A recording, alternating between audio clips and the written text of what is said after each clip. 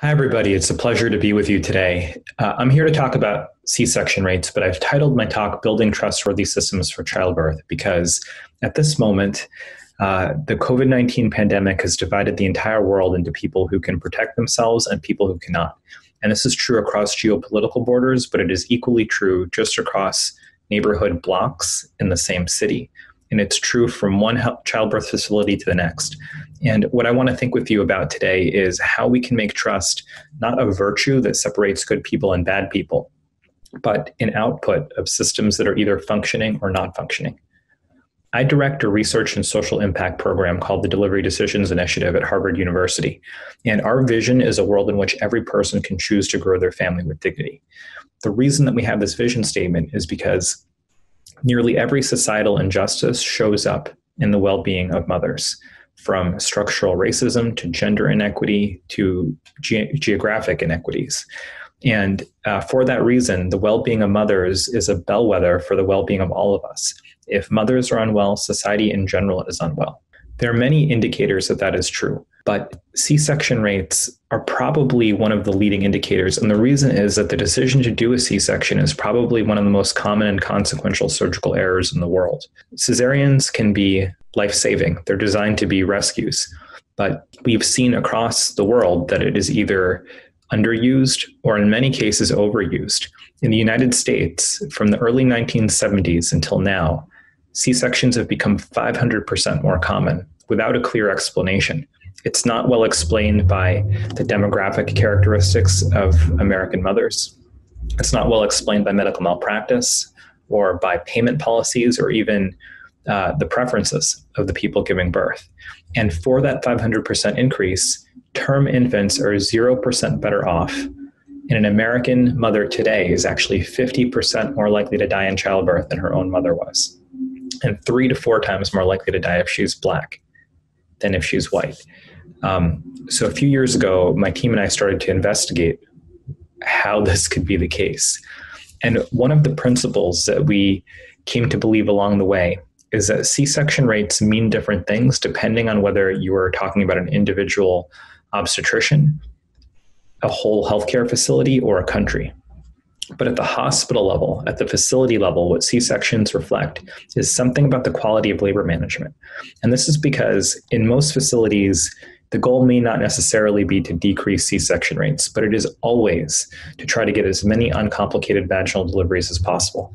And the way that you do that is by supporting people in labor. So I think it is a fair statement that if a facility has a very high C section rate, they are less committed or less good to supporting people in labor. This is a graph that shows the differences in C section rates by facility in the United States. And what you see is C section rates vary from 7% to 70%, depending on which hospital you go to.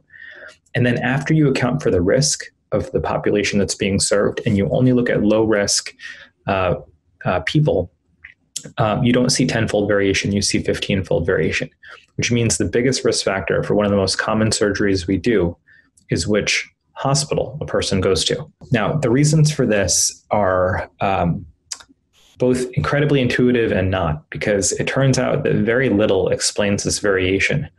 But one of the things that my team and I did is we visited childbirth facilities across the country and in some cases across the world uh, to try to see what was happening on labor and delivery units. And one of the things that is quite clear is that when taking care of somebody in labor, uh, there's often a choice, a dichotomous choice between doing the right thing and doing the easy thing. And so often, the right thing and the easy thing do not line up. Um, in this case, it takes more work to support somebody in labor uh, for the length of time that it takes for somebody to have a successful vaginal delivery than to simply do the C section. And so there's constant pressure in the system to simply do the C section. This is some data that we collected from a city uh, called Philadelphia, where um, in the 1990s, about half of the labor and delivery units closed, which and the population size didn't change, which meant the remaining hospitals became twice as busy. And what you're seeing is how the busyness of a facility, the number of people who are simultaneously in labor impacts what happens. So, on the x axis of all of these graphs is the number of people who are simultaneously in labor. And on the y axis is an odds ratio.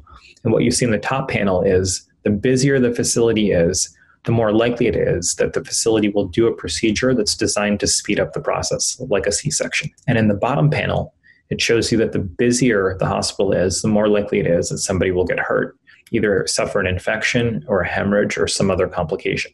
So that raises the question of what do we do about that? And many ideas work in theory, but very few are designed for practice. So as we were thinking about what, what a potential solution may look like, it was really important for us uh, to use this principle of simplicity and also to think about the role of teamwork. Now, simplicity does not mean simple. What we mean by simplicity is trying to correct the situation where there's a choice between doing the right thing and the easy thing.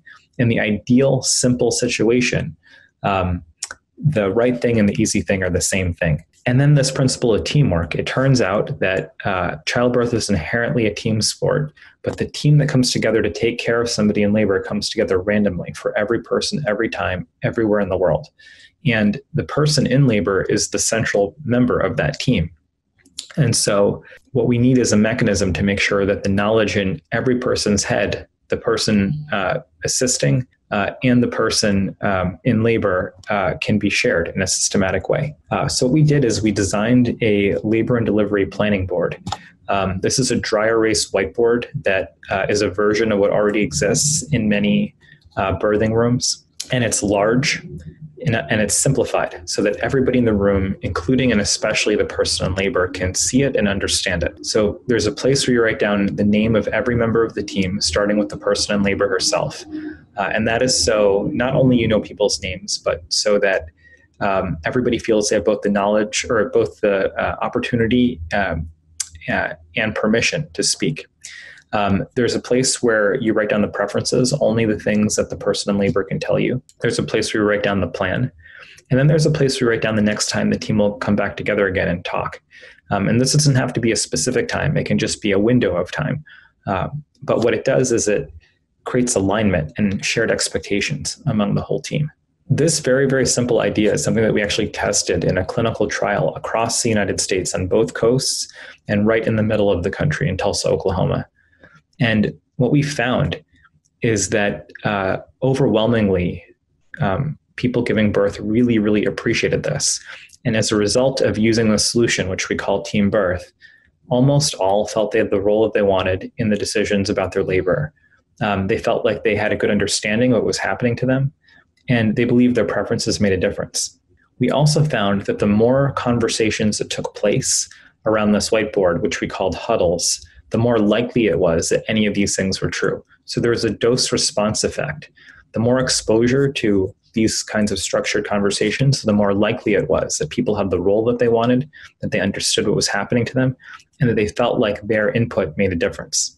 Uh, clinicians also seem to really like this. Um, clinicians generally don't like it when we change processes or tell them what to do.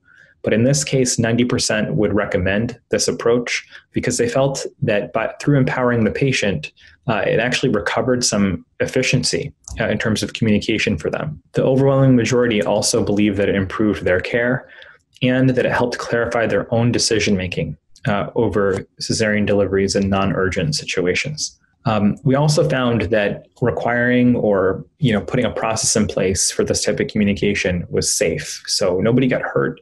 In fact, what we saw was cesarean rates went down, and in some cases, we even saw improvements in severe maternal morbidity and unexpected newborn complications. And uh, part of what we see here is that I think for a long time, people's experience of care has been treated as a secondary luxury that we get to after we make them safe.